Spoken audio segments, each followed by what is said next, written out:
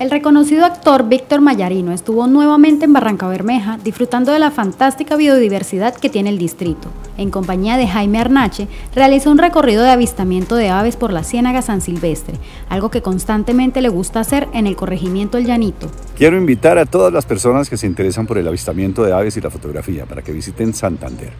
Santander lo tiene todo distintas altitudes, es un hervidero de vida, tiene cuerpos de agua fantásticos como esta ciénaga del Llanito, como la Ciénaga de San Silvestre.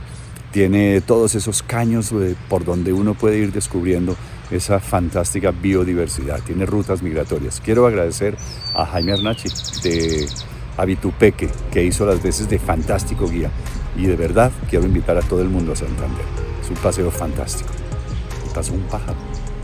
El actor invitó a sus seguidores por medio de su cuenta de Twitter a visitar el departamento de Santander, refiriéndose como un destino ideal para el avistamiento de aves y la fotografía por su riqueza en flora, fauna y sus maravillosos paisajes.